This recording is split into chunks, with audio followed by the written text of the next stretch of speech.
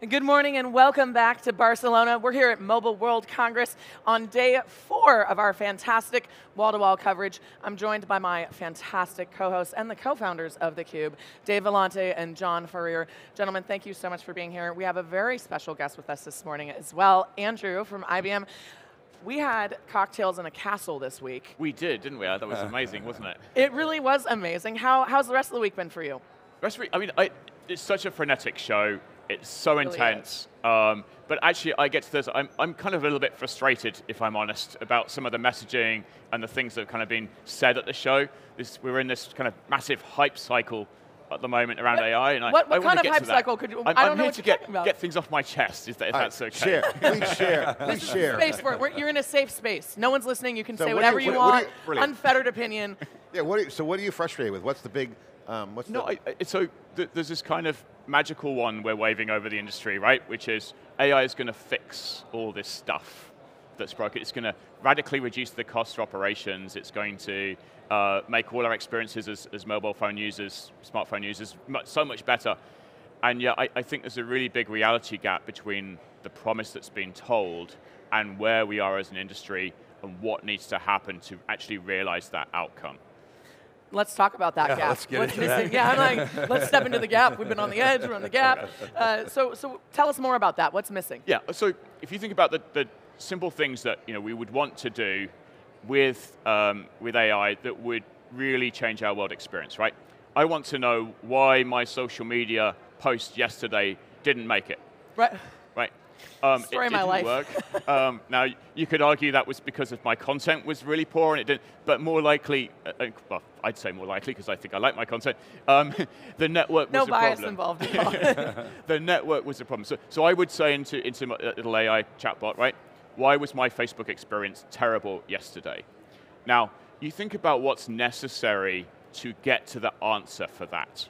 Yeah. Right? And, and if you ask telcos, they say, we've got so much data, we've got, right, so, so my simple question, without a chatbot, can you answer that question right now?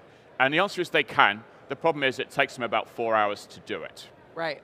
And they so may not have all the data. a little too much latency there. A, uh, yeah. yeah. there's a lot of, right, and, and, the, and the reason is, there's a, you know, there's a lot of things. Was it the radio? Was it my Wi-Fi? Was it the phone? Was actually the, the connection to the social media site broken at that point in time in my town, which can happen, right? So there's, yeah. there's so many different areas where that, that could play out. So that's kind of one, let's park that problem, right, and say, do they have yeah. enough data? And the second part of it is, um, if I want to make it actually have teeth and do things, if I say, I would like to increase capacity to the stadium for FC Barcelona by 20,000 spectators and make sure that all of the public transport's covered, and I want to do that for four hours, right? Mm -hmm. Again, if that's what I'm typing in, what has to happen today? That might be a, a three, four week process for most telcos today because they don't have the orchestration across their systems to go do that, right? Yeah. Uh, and so that's a ticket that goes to the transport guy, a ticket that goes to the radio guy, and there's, a, so you can imagine how, how manual that process really is today. Right. And so, well, Andrew, this is a, brings up a good point. So we were just talking in our intro this morning uh, about the one trend at the show is, is that you get the telecom, fixed wireless, all the systems are great. It's the IT enterprise integration challenges that's, that's going on right now. Right. So notwithstanding the AI hype, there's a bottleneck around that transition and everyone's working hard to like integrate telco yes. into the enterprise. And 5G is right front and center. Private 5G, it's just kind of like not ready for prime time, or is it? What's your view on IT integration with telecom? No, I, I, think the IT piece is the piece that everybody hates doing because it's hard. it's great. You know, if you tell ask a telco go put up another thousand towers, they know exactly how to do that, right? If right. you say, could you make these two systems work together and put an API in front of it? Ah, that, that Pretty, right. Yeah. So you know, a lot of the work at IBM is is kind of exactly that, right? It's like, how do we make sure they've got the right data, they've got the right access to the data, they've got the right orchestration tools in place, and so all that prep work that's necessary to make all this stuff come together uh, is the hard work behind the scenes, right? But Andrew, I'm hearing, if I hear it correctly, tell me if, if, you, if, if, if I got this right. It's not necessarily a data quality problem, it's facile access to that, that data and, and the lack of coherence in a timely manner and it's automation from and an orchestration that's, that's exactly right. And, and so getting all these different data sources together is a, is a kind of fundamental. We want to be able to do I call it a kind of mother of all queries, if you like, database queries that go across all these things so that you can answer those questions. Now, now the tools that come together for AI are very good at that and making associations, but you have to have all that brought in, right? Uh, is there, when you think about the big data days, um, when data was just, I mean, it was, the data quality was a nightmare, but organizations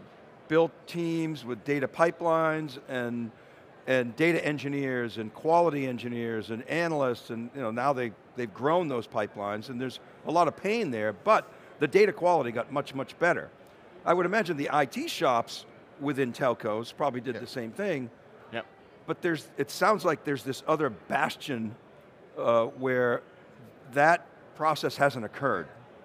Is well, that is there an analog here that does that have to occur where you have it, to have it, it, people rolling well, up their sleeves and data scientists getting the data in order, or is it the case that yeah. the data quality is actually okay, it's just there's not a clear way to get to it? Well, right. I, th I think the data audit, uh, I, I, think they have done a lot, lot of work on that, and, and it's, it's more the union of things, right?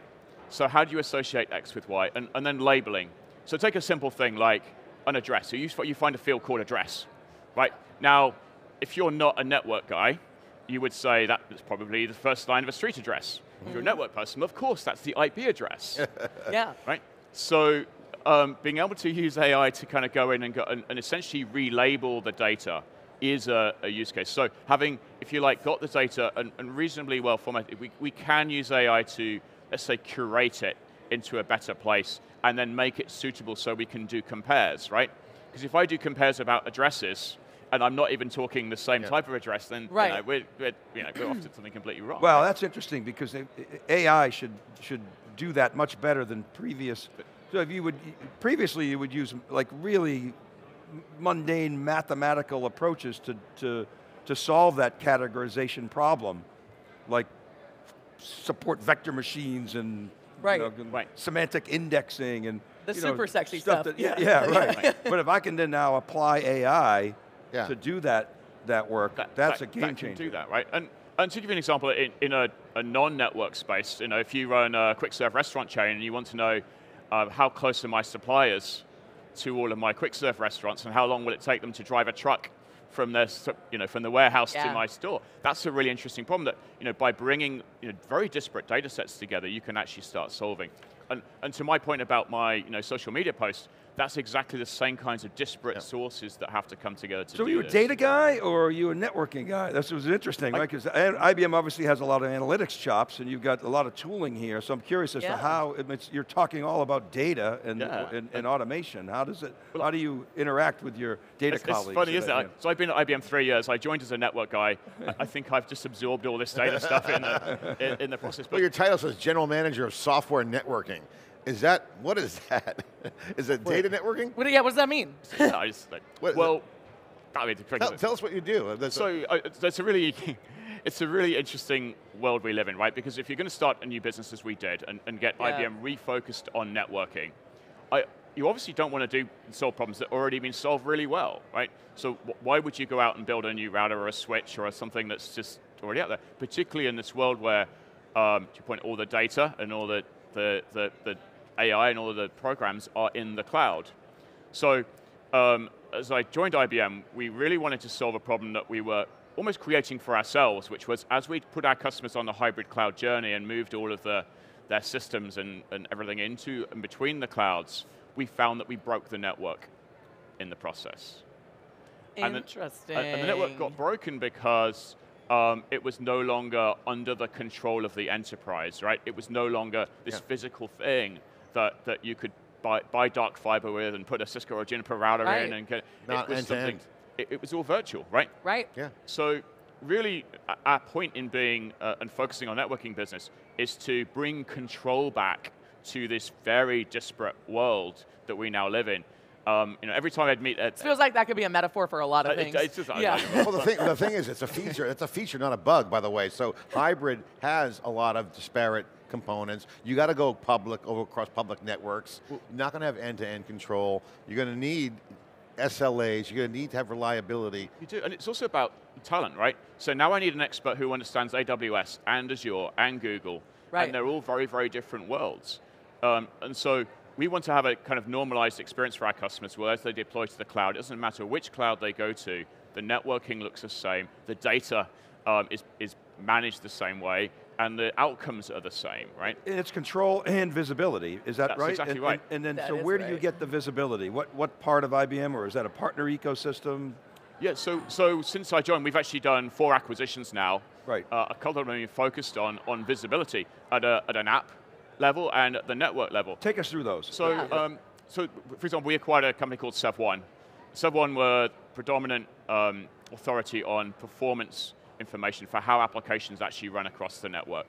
To answer that question, is it the Wi-Fi that's broken? Is it the, The device. the cloud Yeah. device? Is it the, the application itself? And, and be able to, or is it something up in the cloud? And be able to put that story health, yeah. together uh, and then essentially democratize that data. One of the things that um, heads of networks will tell you whenever a problem happens, they, they can't solve the problem because the phone call, the phone keeps ringing and you know, some executive somewhere saying, why can't I do X or Y? So to democratize that data, here's all the applications, here, here's how they're sitting right now, this is the performance of them, uh, and if they're down or they're broken, then this is what we're doing about it. And to have that data in real time, um, you know, to the earlier conversation, before you get to the AI, AI piece of it, um, is, is, is vastly important. Uh, and then secondly, to use uh, some embedded AI technology to be able to predict what's going to happen and what's going to break. So uh, uh, observability sits under your Observability umbrella? of networks sits in my team. Yeah, that's Okay. exactly right. Yeah, cool. So, Uh, Andrew, we, you told us what you're frustrated about. What are you excited about? What's su- is anything surprised you this week? Any customer conversations you're having that are inspiring? I think, um, you know, telco-wise at the show, um, the other kind of other topic that's been happening is, is around APIs Yeah, and around the API-fying. Is that, is that a word? Can I use that? Um, it is now. it, of, of the networks themselves. And I, that to me is the is a really important step that you know I, I think finally we're taking seriously as an industry, because Yeah, I um, totally agree. unless and until we do that, we don't. To my software networking title, we don't have a fully programmable infrastructure and network. Right. I can't call a network and say, I want this amount of bandwidth, I want this type of service, and I want it for. So, to my other example of turn on capacity for 20,000 spectators, well, how am I going to do that for each of the elements that are in the network? It's going to be an API, right? Right. Uh, Absolutely. and so I am more hopeful this year um, that, that, you know, and we've seen you know, a vast amount of progress being made, announcements and so on. I still think there's a long way to go, but we're starting to see those APIs trickle out in the industry, and, and that's really going to help reset what we do. Well, I want to bring up the API piece because we've been asking ourselves, where the developers at? So the app, the, what's the killer app for 5G? That's the question, next question. Two, where are the developers? Are they cloud developers or are they already pre-existing developers? So if the telco has more APIs. Where, who's building what on what? So how do you guys see that? What's the vision of how you see the app developer market? Because there's not a lot of DevOps being discussed here. I mean, cloud's just the toe in the water It's for a good, telcos. Good call out there, John. Right. Where is Yeah. the where are the developers? Well, right. So Oh, they're out there. Well, let's start with, let's start with the basics, right? Um, if you think about how the hyperscalers built their, their infrastructure, they built and consumed APIs for their own use, and then they published them.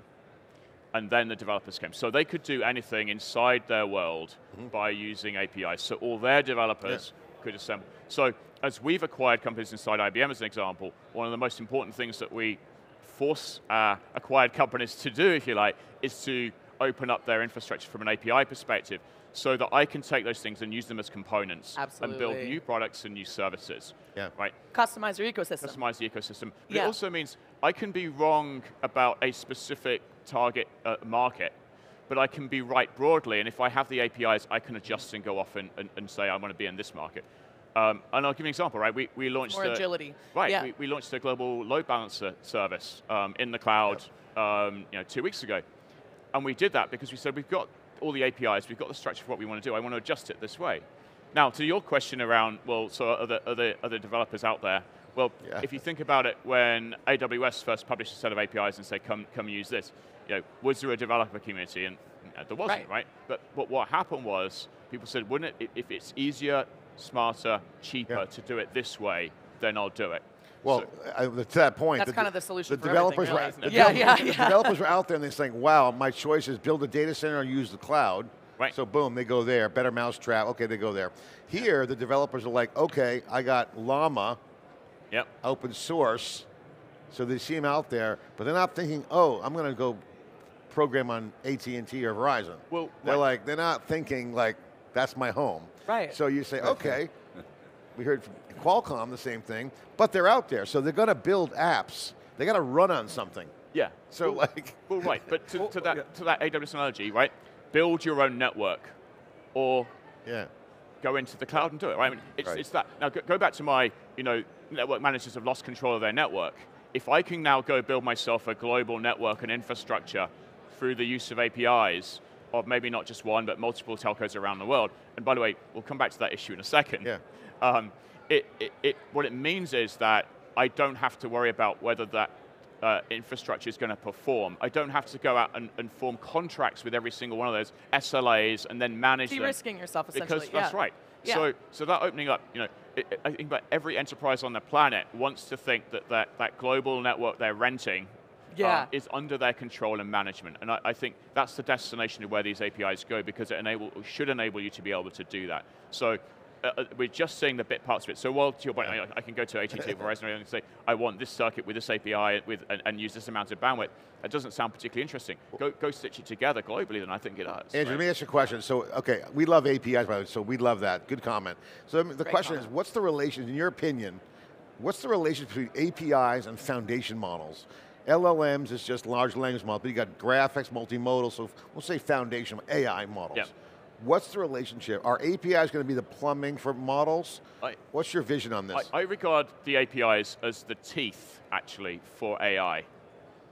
Let me explain that. Because they can't actually do anything. They're powerless unless they can uh, get to the data, as we discussed, or program the infrastructure behind it. Yeah. So what that means is, in, in telco land, right, all those chatbots are going to do is ample, answer simple questions like, why Andrew's bill is $20 more this month, right? That's, I mean, you know, what, Yeah. do I need AI to do that? I'm not sure.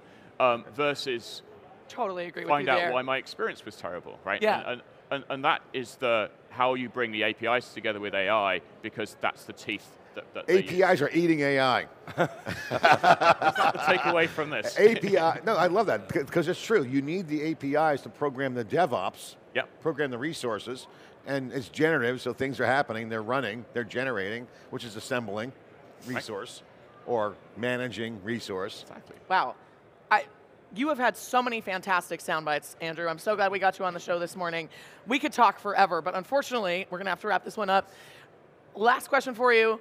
What do you hope you can tell us when you're sitting on this lovely desk with us next year? I would like to tell you about all the fantastic customers that are starting to use this technology, the APIs, the AI, and how it's Give actually coming together, the, applications, the use cases and, the, and how it's actually worked. And, and maybe a little bit of sadness about what didn't work. I mean, that, that's, that's always how much how we learn, right? Yes, hopefully less frustration for you next time we get the opportunity to chat. Thank you again for being with us. John, Dave, thank you both for being on my sides. And thank you for tuning in from wherever you are consuming this fantastic content. My name's Savannah Peterson, live here in Barcelona at MWC. You're watching theCUBE, the leading source for enterprise tech coverage.